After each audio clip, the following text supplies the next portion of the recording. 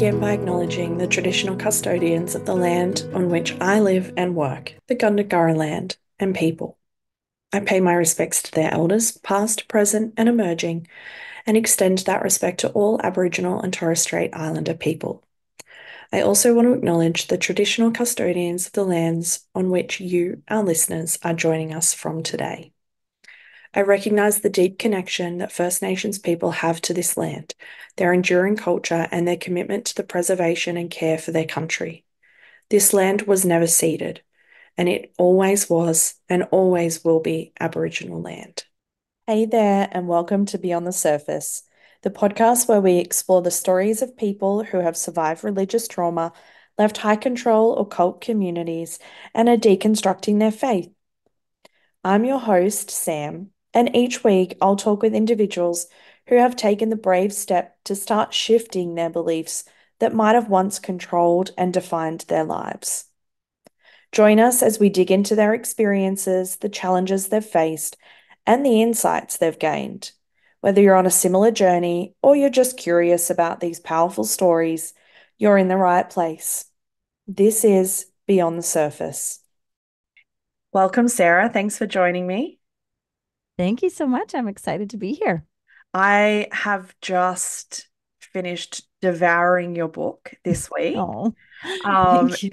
And it was it it is honestly just wonderful. It really is. Um, thank you so much. It is just a really you I you know, and I think you sort of mentioned this when I first reached out about you joining on the podcast um, which is, you know, there is a lot of pain and a lot of trauma and a lot of hurt um, for a lot of people that I'm talking with. Um, but you described your journey as more intellectual and mm-hmm. um, and I love that because you know I think it, you know the diversity in the deconstruction world is vast mm-hmm. and um, but the way that you articulated it through the book was just beautiful um, oh, thank you so yeah, much. Really lovely.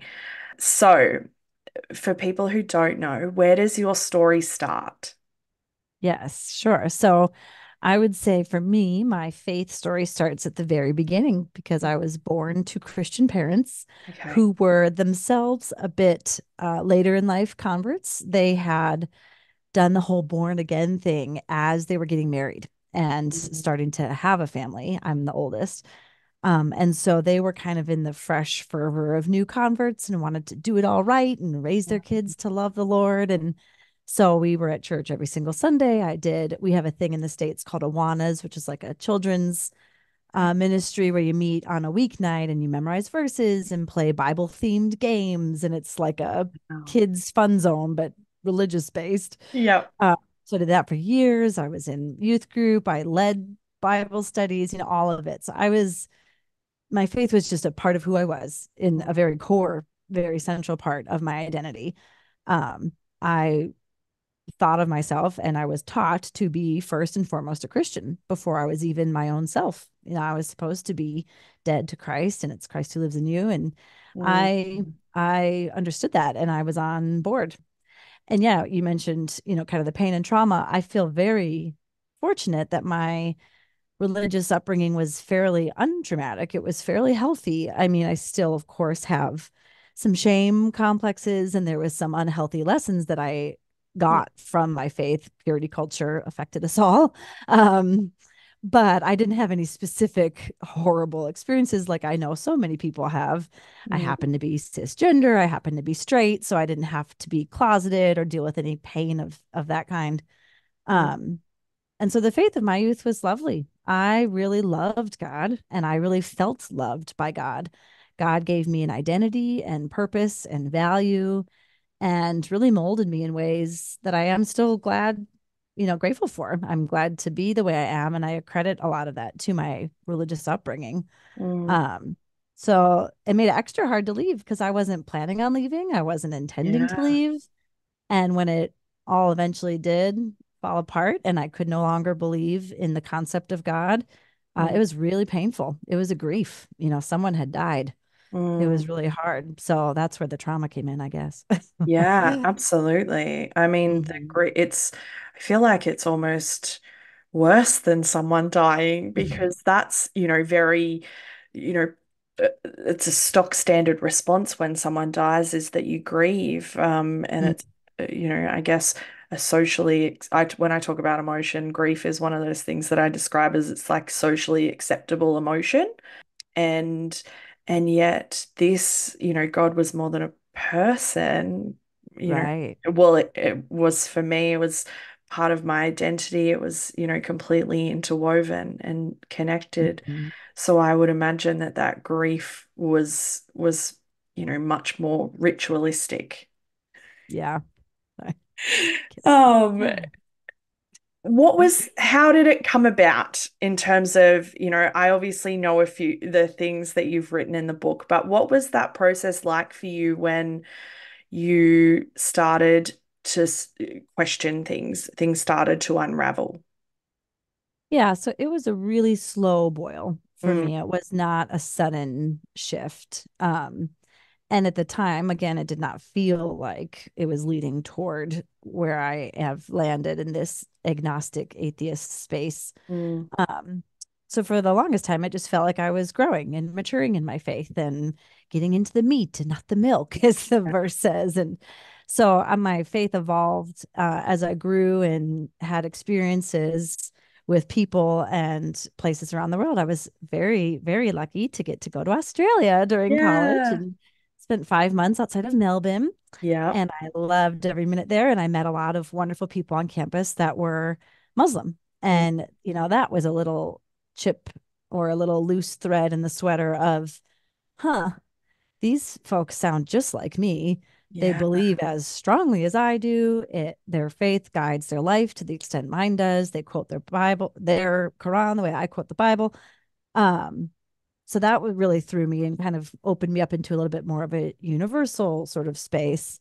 Um, meeting my first openly gay friend really threw that under the microscope of, Mm, huh, he seems lovely and fine. Why is his very nature wrong and sinful? I don't get that.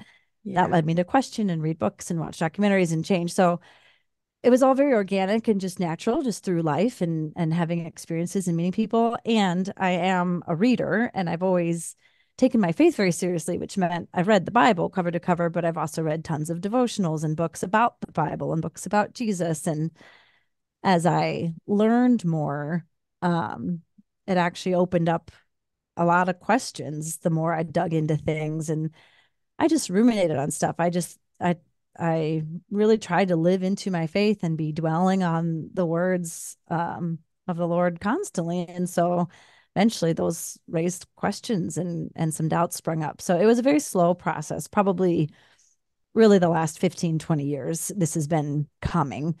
And again, I didn't at the time just thought my faith's just expanding and growing. Um, Mm, but there was a more pivotal shift that pushed me into this foreign land that I'm now in of atheism, where um, it was during the twilight zone of the pandemic, kind of early pandemic days, where we're all everything's closed, we're all stuck in our homes. You know, you weren't seeing anybody or going anywhere.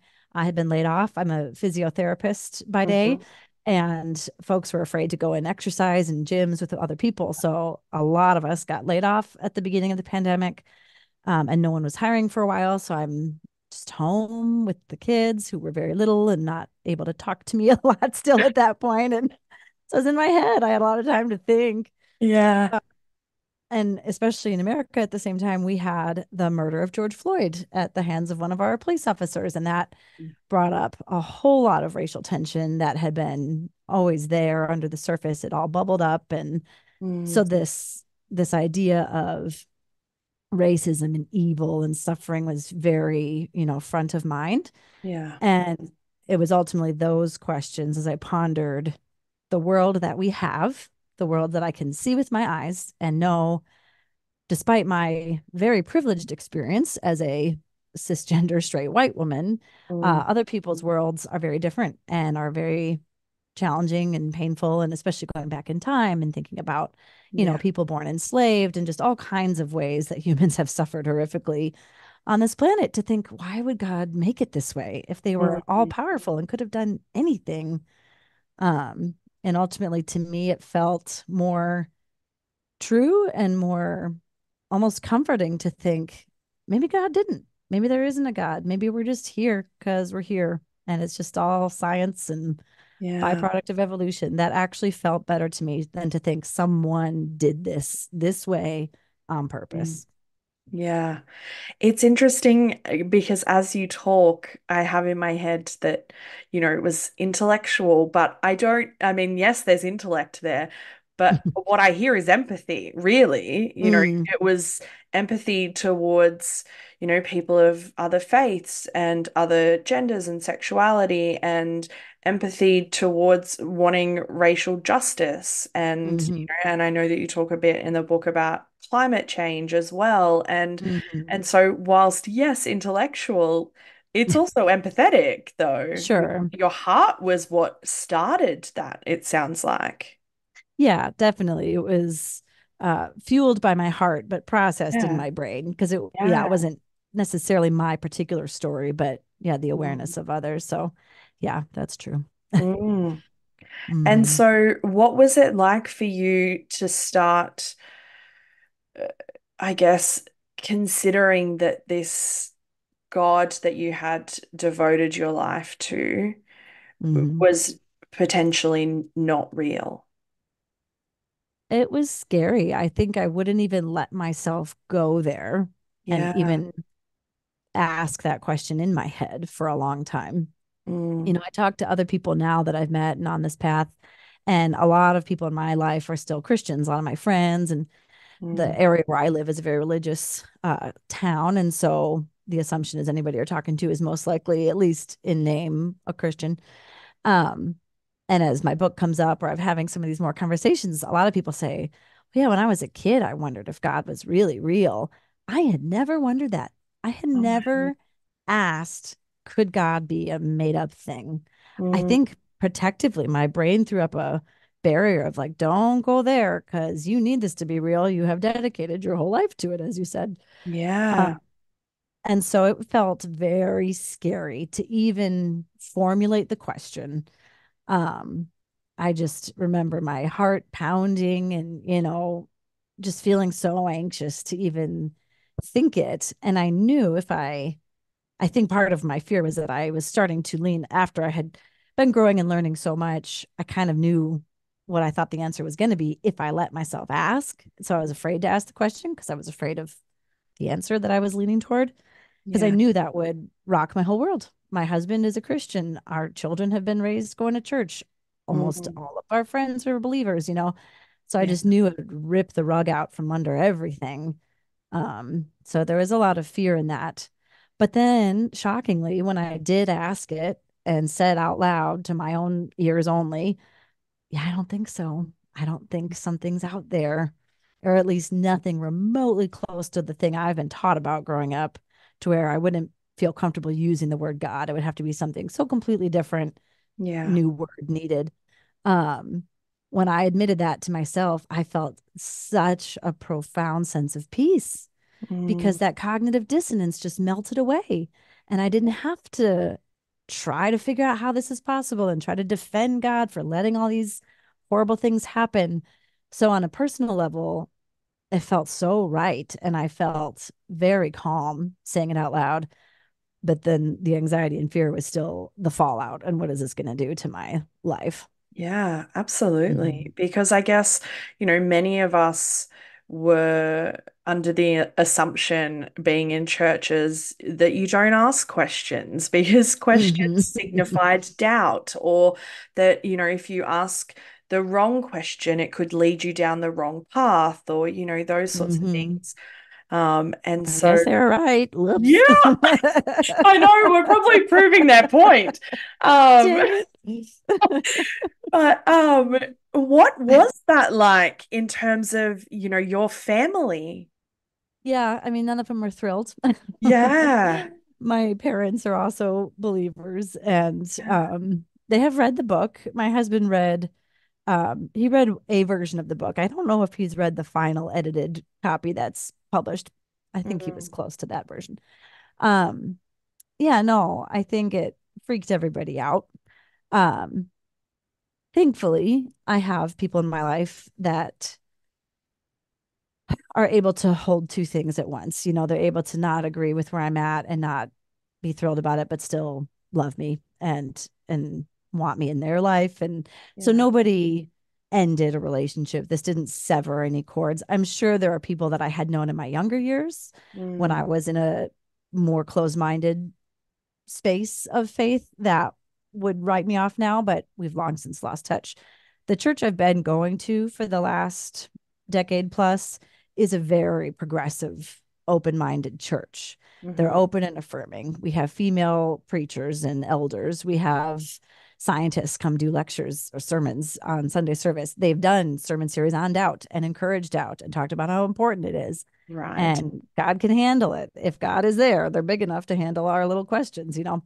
Mm. So no one was too scandalized. Um, even my own pastor, I talk about him in the book a little bit. Mm he helped me process a lot of this as it was happening. We met up in the pandemic a couple times for, you know, social distance walks. yeah. apart on the sidewalk. And he knew everything I was thinking and didn't, you know, say, You're gone. You can't come to church anymore. You know, he was very encouraging. He even has been helping promote the book and he got me some more writing gigs and has been like a supporter.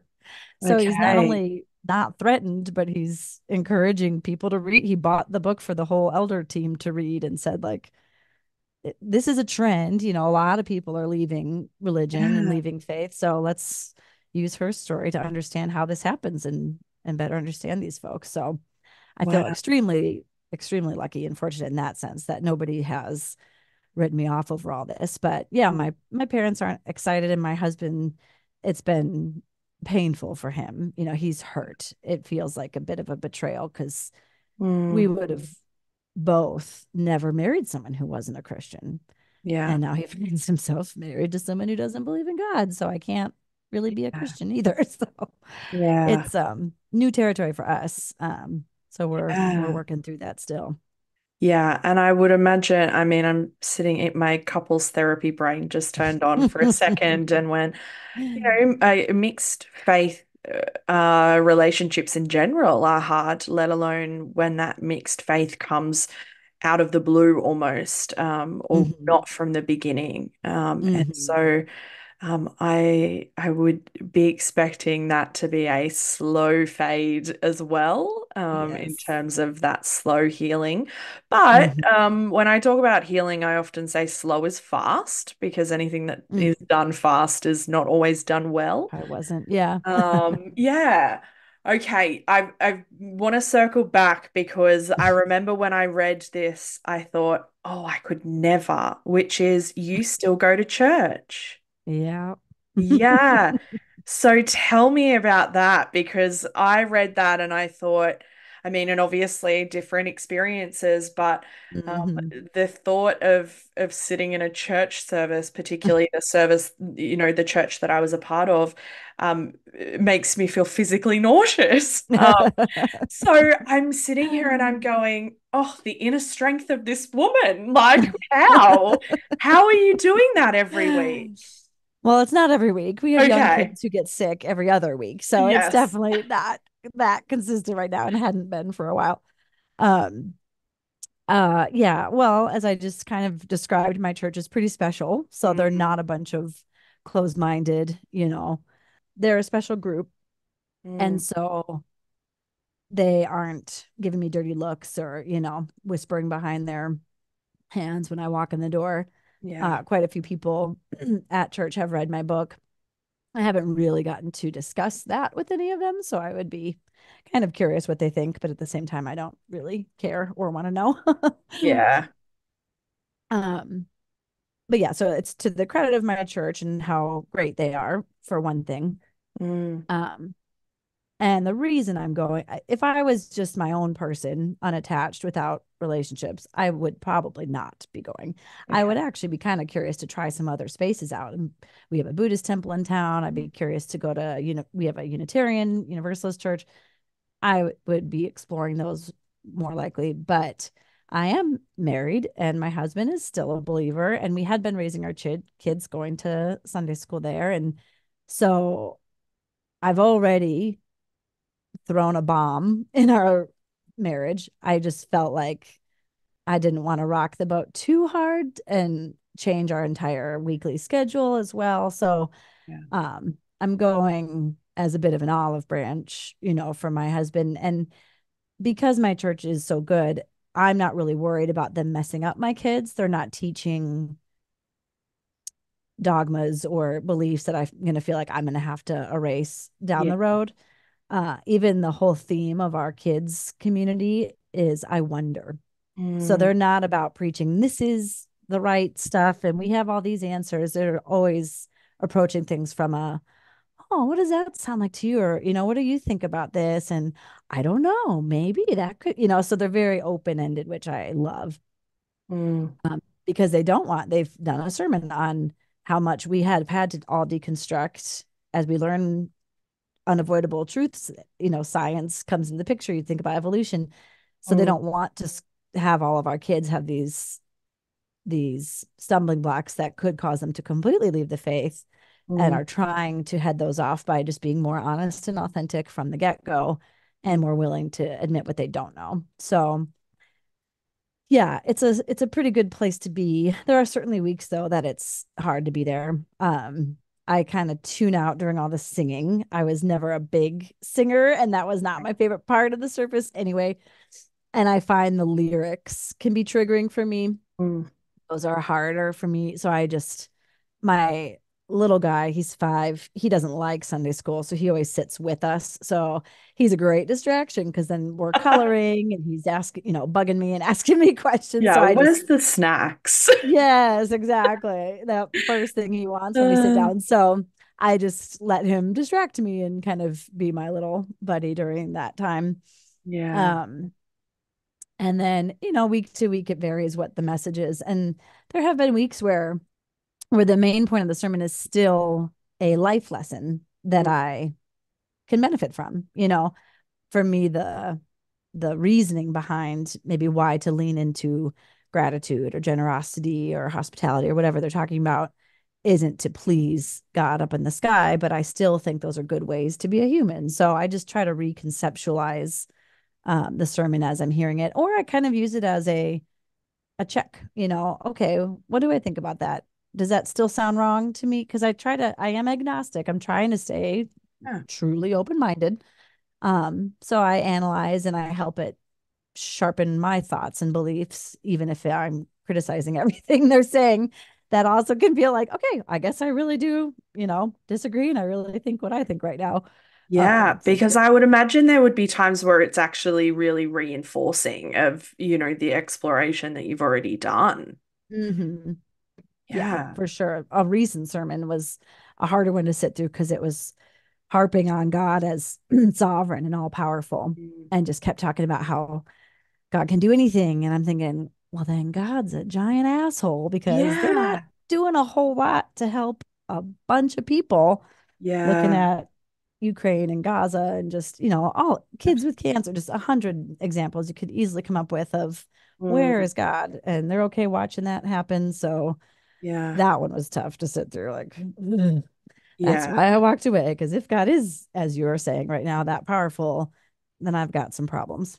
yeah, absolutely. And I mean, it goes back to, um, I think I commented on one of your posts today about your chapter titled Free Will, where I mm. basically mm. went through every human emotion possible in that chapter um because you know you do say in there like if the if there is a god and he is allowing this to happen that's not a god that demands my worship that's not somebody mm-hmm. that i want to have anything to do with um mm-hmm. and i think that concept of where is god in suffering and in pain is often i guess that that clincher for a lot of people um, mm-hmm. um, because and I used to explain yeah. that away so tidily with I know.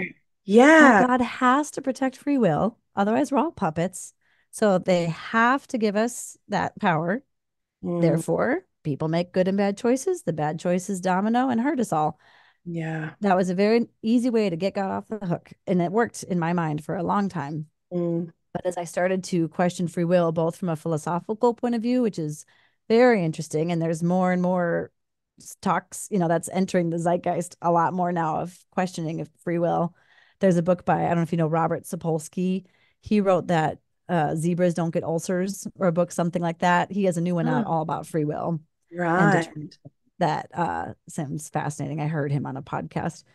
Um, and so, yeah, just thinking about free will from an, uh, an actuality, if, mm. if this is really a phenomenon that exists or not, if we just think it does. yeah. um, but even if it does exist, questioning the practicality of it. Okay, if we have the free will, it's being hoarded by, you know, the rich and powerful, truly. And they are playing dominoes, playing chess with the rest of our lives. Yeah. They are making the world not a world I want to live in with the climate change, pollution. You know, I don't have the free will to stop that from happening. I don't have the free will to eat food that's grown out of good soil that hasn't been depleted by, you know, mass farming practices. I don't mm-hmm. have free will left and right. I don't have free will to buy clothes that were ethically made because it's yeah. really hard to even do that research or check into that. There's so many ways that my free will is limited, let alone, again, thinking of that person born enslaved. Mm. They didn't mm. have the free will to eat when they wanted to eat and how much. They didn't have the free will to marry, to keep their babies, you know. Um, so if free will is already that constrained and that controlled, then it kind of mm. takes the excuse out of it.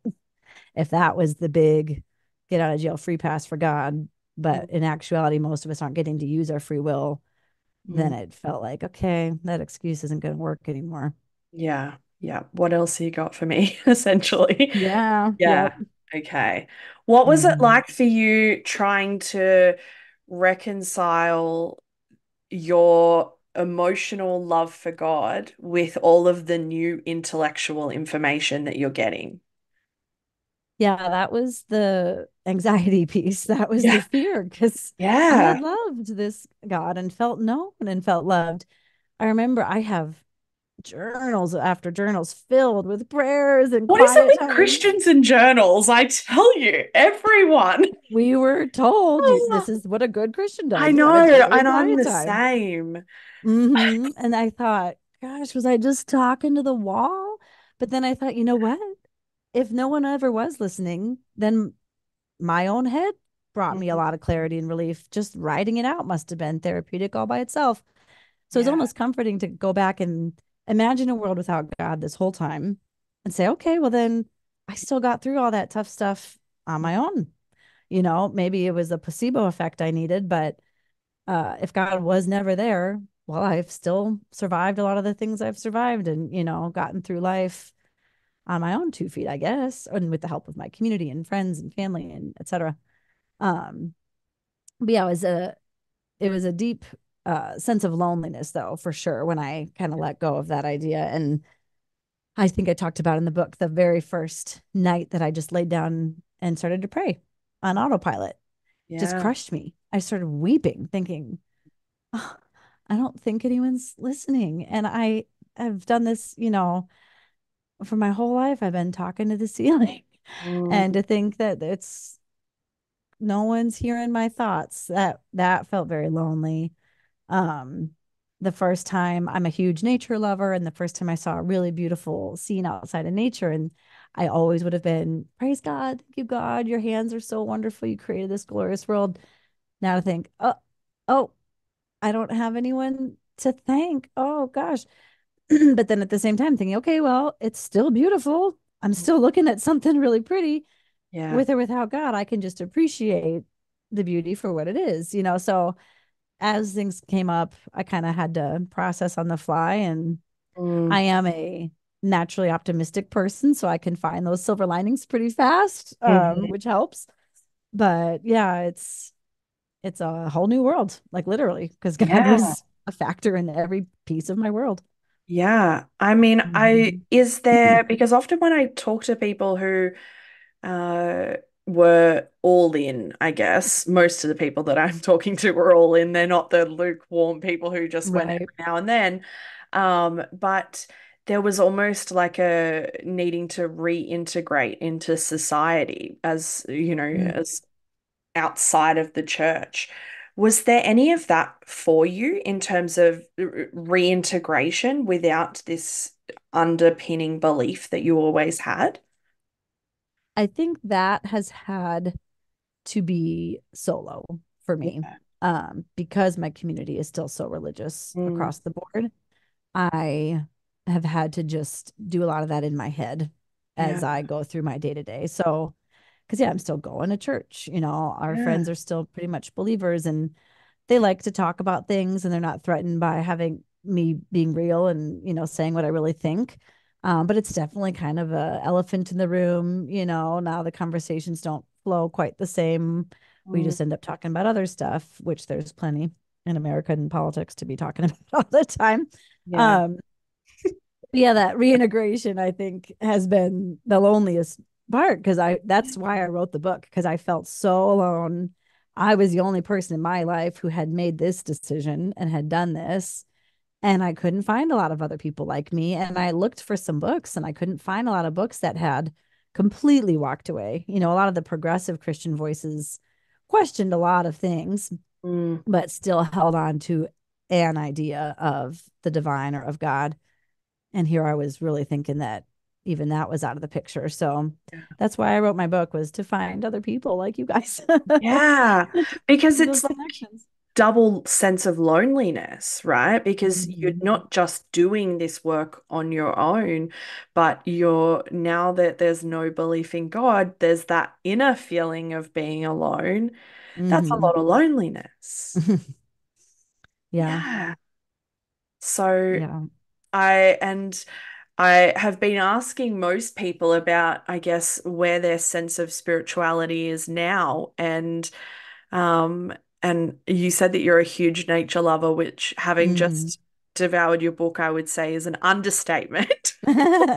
Um, because the way um my personal therapist is a forest therapist, and um, and so Oh. I'm actually going, yeah, he would love your book because if he can bring nature into every conversation, he will. Um, Mhm. and As one should. yeah, and as I'm reading, I'm thinking the way that you talk about nature is spiritual.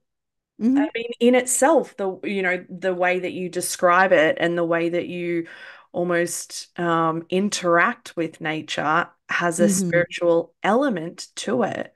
Mhm. Um, is nature a big part of that for you? Oh, certainly. And it's funny because the reason I feel such a connection to nature and have these moments of transcendence where I feel like I am at one with all these other living beings, animals and trees included, everything is because of science. It's totally secular why I feel that way. Mm, I did not learn about evolution until I was an adult because that was mm, wrong and I wasn't supposed to. So I blocked my ears in school and I refused to learn about it. And I fled to the Christian history teacher at my high school and said, Give me ammunition to debate my anthropology teacher. yeah. So I did not learn evolution for a long time. And Yeah. again, thankfully, I'm a reader and I'm curious. And so I had picked up some books on paleoanthropology and learning about specifically human evolution way, way back to like our common ancestor with the ape days Mm, was so fascinating to me. mm, And just to think about that, that tree of life, these branches that we all started off, you know, the very first living single celled organism is the mm, great, great, great, great, great grandmother of everything on this planet. Everything started at one point in time, which is bananas and still very mysterious to think about. mm, Um, and, you know, plants were one branch, animals another, blah, blah, blah. So I feel literally connected to everything in the mm, universe and on the earth now and knowing about you know the kind of science of our our cells and electrons like the quantum stuff how our, our electrons are both in our cells in our body and at the same time the probabilities you know they're here but they're also everywhere. So an, an electron from a cell in my body could be on a different galaxy right now or could be in you right now or be part of the computer processor right now. We are blending our very cellular makeup with everything around us at all times, just yeah. literally connected. And so to me, that's so beautiful and Mm, profound and totally secular, doesn't need any. So spirituality is a little tricky word because I'm mm, fairly um naturalist. You know, I don't know. I kind I don't know. There's some definitely weird, inexplicable things with near death Yeah. experiences and past life kind of stuff, but it's that would be really hard for me to to land on that side. I I lean towards it's lights out, we're done. The physical Yeah. world is the only world. Um, who knows? And it'd be great to find out that I'm wrong and that there's something else after this that's lovely for everyone, but I don't know. Yeah. Um, so I have a pretty hardcore secular worldview, and Mm. yet it feels very, yeah, spiritual, quote unquote, Yeah. in that Yeah. sense. But spiritual implies another realm, you know, a spiritual world on top of the physical world. And I don't Mm. know that I t- technically agree with that. So semantics, but but yeah, Yeah, get I mean- yeah. yeah like and and i guess spiritual is the is the term that i would use but um i guess it is just um i use the term spiritual in in the sense of like an inner connection almost Mhm. um and That and sense so- of like awe. yeah yeah um how do you look back on uh your time in the church as a christian How do I look back? Um, yeah I don't, you know, I, I see a lot of memes of people talking about like, give me my tithe money back or all those Mm. hours I spent. And I yeah get that. Um, I guess I don't have a ton of regret. I feel a lot of empathy toward my old self. I believed that because it was in the air I was breathing. I was raised without it really having, again, free will being a choice. I was a Christian because my parents were Christian and it was my life. Mm. Um, so I don't beat myself up or feel like I was dumb or duped or anything like that. It's like, well, of course I was a Christian. If I had been born in another country, I most likely would have been a Muslim. You know, Mm. so much of who we are is circumstantial based on our context. yeah Um, so I don't feel any sense of like uh, shame or disappointment with myself for not having figured it out sooner or anything like that. It's a journey, and I, my husband, you know, one thing that we'll talk about for him, it's very compelling that humans, even way back to pre Homo sapien, like Neanderthal days, have had a sense of spirituality, have had the understanding or assumption that there is something else out there, that there are these divine things, whether that was animism and in nature at the time, you know, but we have had that that compulsion to believe in something greater from the very beginning. So to him, that's Mm. evidence that there is something. You know, if every single human has always thought going back in time, which is not true, every single, and you can find ancient Greeks who are atheist, and you know, it's not Yeah. always everyone everywhere, but um, yeah, to him, it's it feels almost arrogant for me to be like, yeah, no, every single human society's been wrong. I'm right, and there is nothing out there. Um, so I there's reasons why we all have these spiritual ideas and religious thoughts, and I don't want to discredit or throw it all under the bus. You know, I think it's been part of the human experience and the human journey to ask really hard questions like, why are we here? And what is the point of all of this? And maybe we came up with our own answers to that all along. Maybe there is some ultimate truth out there that we're still circling around and we'll find out one day. Mm. Um, which is why I, I do try to cling to that agnostic label because I I don't want to become so closed off in now, you know, the flip side of my beliefs and say, nope, absolutely not. There cannot be a God. Like, well, Mm. maybe there is something. I don't know. Who knows? I- yeah. yeah. I haven't actually solved the mysteries of the universe. Yeah. Well, then why are we even having this conversation? um, no, I mean there is there is arrogance everywhere in terms of different beliefs, and you know Mhm. there is arrogance in every belief system and non-belief system. Um, Mhm. and I think as soon as we sit on any end of any spectrum, it that's when it becomes an issue. That's when it becomes dangerous. Um, One of the things I would say I cling to now, or worship would be the wrong word, but value strongly is curiosity. yeah. Humble curiosity has become a catchphrase of mine. Um, remaining humble and not thinking I've got it all figured out. I'm 38 years old. I have not arrived. Um, and staying curious and continuing to learn and grow and ask questions and not be afraid of, you know, pulling on some of these threads.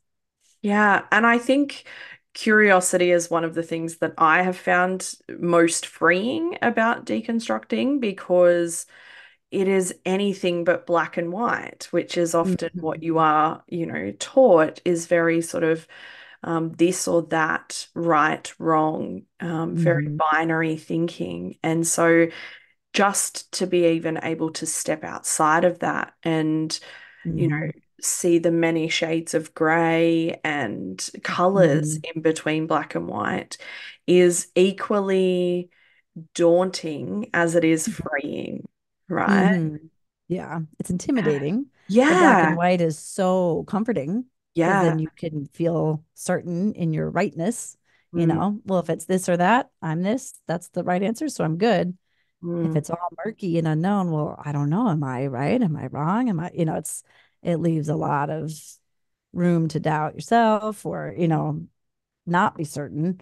yeah. And that can be a space of beautiful creativity, but it can also be very scary because you could be totally barking up the wrong tree if Yeah. it's not a clear cut yes or no, right or wrong answer. Yeah. Yeah. Are there moments where you go, oh shit, what if what if I'm wrong? Like what if I've just like jumped down this rabbit hole and I am wrong? I do laugh thinking because 15 year ago me would have never thought I would be an Yeah. agnostic atheist ever in a million Yeah. years. So 15 years from now, me, I like to joke I could be a fundamentalist back Who in a, knows? a cult. I don't know. I doubt it. But Oh, so who knows? You know, I don't know. I doubt, I don't know. No one can predict the future. I doubt I would turn back into a classical Christianity. I would lean, I'm assuming, if anything, I would go into a mystical approach to mm, any kind of religious beliefs. Um, one thing that has given me great comfort in thinking, what if I am wrong and God's out there watching and seeing my mm, book and not happy? yeah. Um, it has been learning about near death experiences. I Mm, did some reading on those. Um, and they are universally positive. mm, And no matter if the person having one was an atheist, was any kind of religion there is, if they were trying to end their own life, they mm, all had, you know, 90 plus percent of the time, very similar experiences. There's kind of like 12 common experiences people have. And so not everybody has all 12, but somebody will have these four, somebody else these six pieces of the near death experience package. Um, and they're overwhelmingly good. People feel a sense of that oneness of just deep, ultimate love or peace. The white light is, you know, part of that, an out of body experience. And so to think, okay, these atheists are having those experiences, these mobsters are having that experience, you know, people living what I would have judged as really evil, harmful lives had that same experience of being loved and at one and all is right. Yeah. So that gives me peace thinking if there is something um, because some of those stories are pretty bananas. There's one I read about that the woman was, she was a kayaker, river kayaker, and had gone over some rapids and her kayak got stuck on, you know, flipped and she could not, the wa- the water was pushing her so Oh, strongly she could not flip it back over. She was underwater for over half an hour. oh She was bloated and blue and somehow was Oh, resuscitated. So her brain, like she was dead. There's no yeah. way, no oxygen that unless she adapted gills really fast or something, you know, I don't know. So to think it because I you could say, well, near death, maybe our brains go through a last, you know, firing of all the neurons, and that's why we have these. But there are people that are brain dead and have these experiences. Um, and they're so mysterious, right? Like the out of body stuff is kind of wild to hear about. People see things on other wards of the hospital or other units. How are Mm, they seeing? Their eyeballs are in a different room, taped shut in surgery, and they're seeing quote unquote things or hearing things. So it's just very mysterious and consciousness is mysterious. I'm still reading and learning about that. And there's a lot we don't know, but it mm, seems like if there is something, everybody seems to have this great, universally lovely, good experience when yeah. they are near death. So I'm that gives me hope to think, okay, if Mm, if I've barked up the wrong tree, it doesn't seem to be limited to this Christian God. yeah. Um, we all seem to be good to go. nobody's seen any flames. No, and the people that say their experience was bad, it was just because it was scary. Like Yeah. the life review freaked them out, or the out of Mm. body floating sensation was scary, but it's Mm, not because they saw flames and Yeah. And you know, welcome to hell signs. Yeah. Oh goodness. Um, and so I you mentioned you've mentioned a couple of times, I guess, you know, we in Australia look at the US and I go, that is a shit show over there. Like in Mhm. terms of the enmeshment of uh, Christian nationalism in literally everywhere. Yep. And so, how do you look at that now versus how you would have 15 years ago when you were one of those Christians? Yeah, I was never one of those Christians for long. I was gonna say. As soon as I uh when I was young and I was in high school, Mm, um, I would have called myself a Republican knowing nothing about what that meant. yeah. And I the first time I could vote when I turned 18, I did vote for George Bush, again, having done zero research and just having gleaned from the atmosphere that Christians are Republicans, so you vote for Bush or Yeah. whoever the Republican nominee is. Um, as soon as I started paying any attention, I've been a Democrat ever since, and on the Yeah. more liberal and progressive side of things. And there's a lot of Christians like that. So I, I think some of those conversations get very black and white, where it's like all Christians are these conservative, you know, gay haters and Yeah. anti-science. And that's not true. There are plenty of progressive, kind, loving, inclusive Christians. They exist, and I was one of them for a long time. Yeah. Um, but seeing that political climate and how enmeshed it is in Christianity Mm. is just so disheartening because I do still think Christianity can have a lot to offer. You know, again, it made my life good and Yeah. it gave me a lot of values that I appreciate. Um, but culturally it is so warped and it's gotten so commandeered, you know, by the political nature of it. And that's been intentional. You know, it's really depressing to read about how concerted efforts have made it the way it is now. Mm, Uh, it didn't just happen by chance. You know, it was always a piece of white supremacy and a piece of keeping the power and keeping others subjugated and under. So it's hard not to get really bitter and jaded about all that. Um, but I had always been, when I was in that boat, still able to separate religion from God. To me, mm, of course, religion was corrupt and messed up. Humans ran institutions of church. So Mm. yeah, they're messed up, but God doesn't isn't part of that. And you know, they have it wrong kind of thing. So I can still see that that the institutions of faith and the religious right and some of that stuff, I wouldn't even call that a religion anymore. You know, it has become this political entity, really. Um, and so yeah, it's its own whole monster, but to me, mm. it really doesn't count as like a a spiritual practice or belief system. It's something different and quite Mm. ugly, unfortunately, and Yeah. quite powerful, Yeah. It Yeah. has become, like you said, its own entity. Um, hmm but I mean, you know, I will often say to people, you know, I'm not anti-God, I'm not pro-God, I'm anti-fundamentalist and I'm anti-harm hmm and um, I don't have a freaking clue what I believe, but that's okay. Um, but you know, like you said a couple of times already, which is that there are, you know, the teachings of Jesus, for instance, are not inherently bad in any way. hmm And so, um, are there parts of your former belief that you still hold dear without, I guess, the the concept of div the divine over the top of that?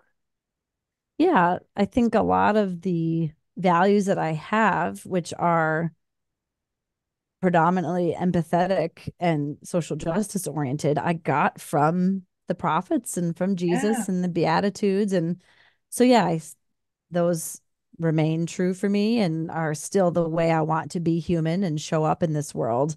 Again, it's just the motivation's different. It's not doing that to please God. It's doing that because I think that's a way to be a good human and both make the most of my life and this random experience of consciousness I get to have while recognizing that my success is tied up in everyone else's success and that I owe it to the human family to try to relieve suffering where I can, not to get brownie points for salvation, but just because we are part of a human family. And again, learning about evolution and realizing how wimpy and vulnerable our species is that we only have survived this long because yeah. of each other and yeah. because we work together or have um, motivates me to yeah to do whatever small bit i can that gets so overwhelming because mm. we're so globally aware of all these problems that i have zero influence over yeah um but trying to focus on what i can influence and what my sphere does touch and and mm. just do what good i can there. But yeah i definitely it's interesting about it jesus because i've since finishing my book read a really fascinating book on the historical anthropological figure of Jesus that kind of really threw because I was still clinging to a lot of that was a harder thing for me to process. For like if God isn't real then what is Jesus all about? Mm. um it was Reza Aslan's book Zealot. And he makes a pretty strong case that Jesus was truly a Jewish Messiah, one of many. Messiahs seemed to spring up every other year back in that day. Yeah. And that wasn't a huge claim for a person to make. There was countless messiahs that the Roman Empire continually executed. And it was a political role. He was concerned about Jewish liberation. They were an occupied people. Um, and that a lot of the more universal Christ, Savior of all, is really Paul's brainchild. Mm. And that Paul kind of formulated a lot of that.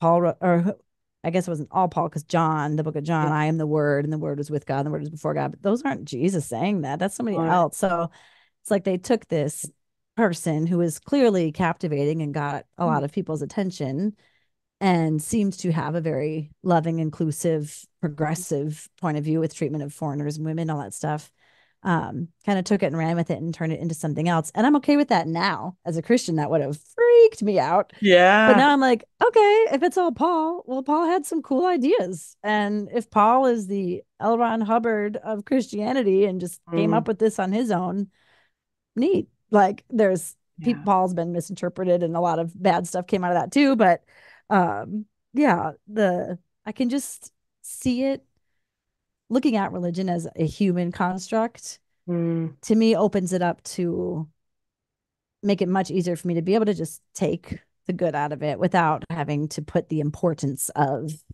my soul and eternity on it all.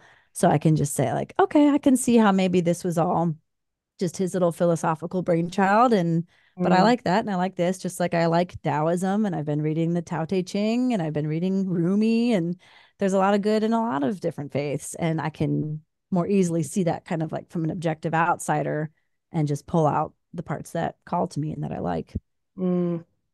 what was it like for you when you finally finished writing your book? It was so clarifying. I mean it was such a good experience. I've been saying it's kind of funny to think in the past the process of writing the book, I was in a flow state a lot of the time. It poured out of me. And I would have accredited the Holy Spirit to that before and said the Spirit mm. was speaking through me because the book just, I mean, every time the kids went down for a nap, the minute after bedtime, I was on the, and it just, I didn't have writer's block at all. It just literally poured out. Yeah. Um, so it was a unique experience of feeling like some, from, from using my body as a conduit, you know um, it was my story, and I think it just needed to come out. Um, so yeah, the the process of writing it was very clarifying and therapeutic and helpful for me to write because I was writing it. I started writing it almost immediately after first saying like, I don't think God's real. Pretty mm. early because I had I had a blog at the time and I had tried to blog about this because I had blogged about spirituality and politics and all kinds of stuff.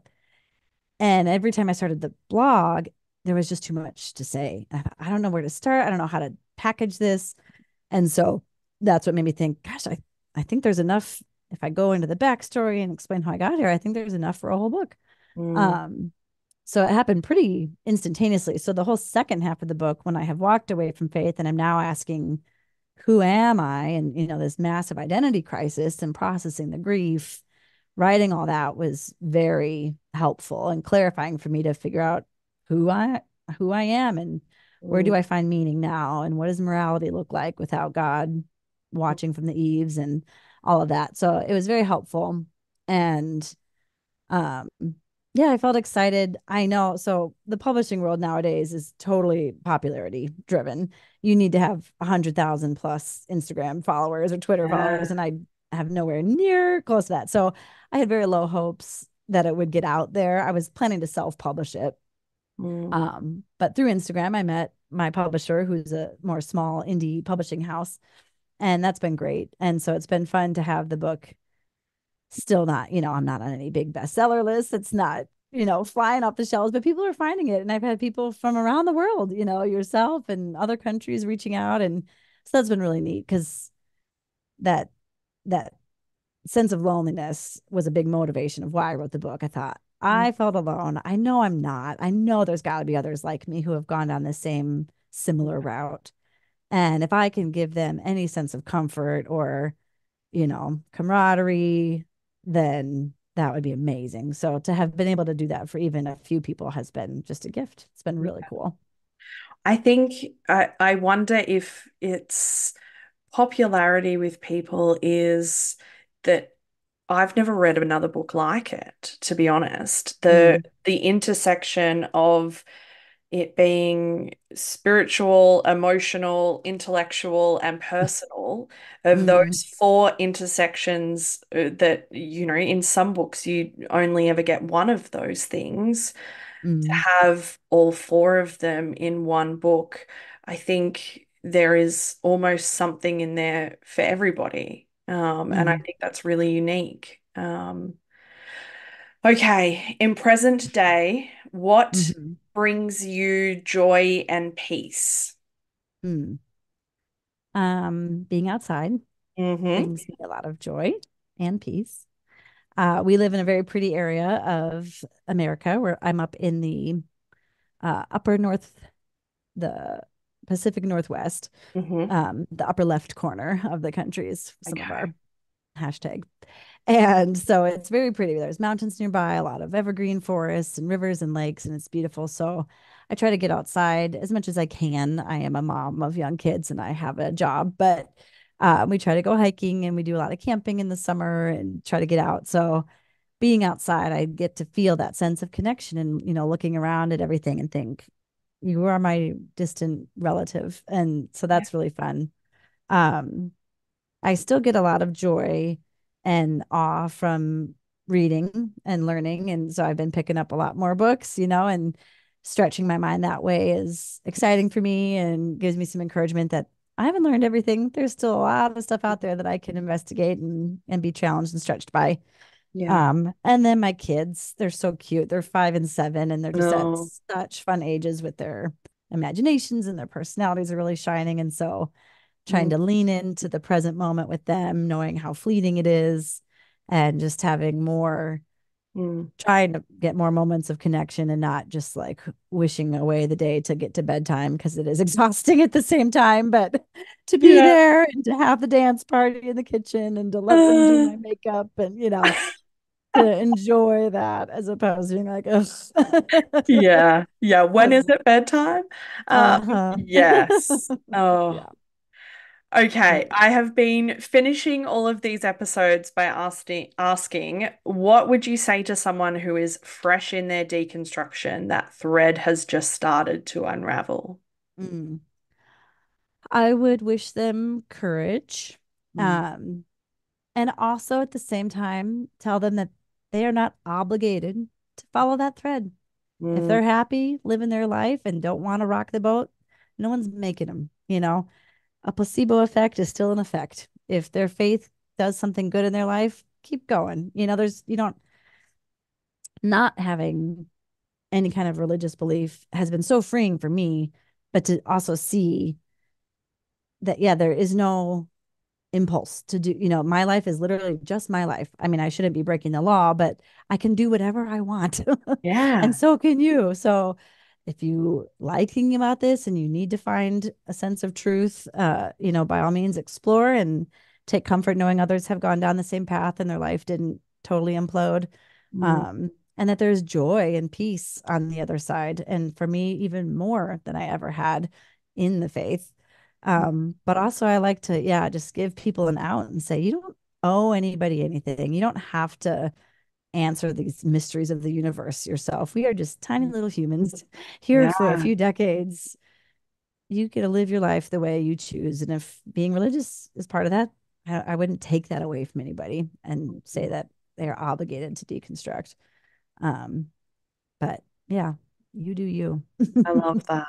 Yeah. I think I love that. That sense of like autonomy, almost self autonomy. Mm-hmm. You just do what feels best for you. Um, don't mm. hurt anyone. Just do what is best right. for you. Right. Yeah. Do no harm. Yeah. Go forth. yeah. I love yeah. that. Thank you so much for joining me. Yes. Thank you. This was wonderful. Thanks for tuning in to this episode of Beyond the Surface. I hope you found today's conversation as insightful and inspiring as I did. If you enjoyed the episode, be sure to subscribe, leave a review, and share it with others who might benefit from these stories. Stay connected with us on social media for updates and more content. I love connecting with all of you. Remember, no matter where you are in your journey, you're not alone. Until next time, keep exploring, keep questioning, and keep moving forward. Take care.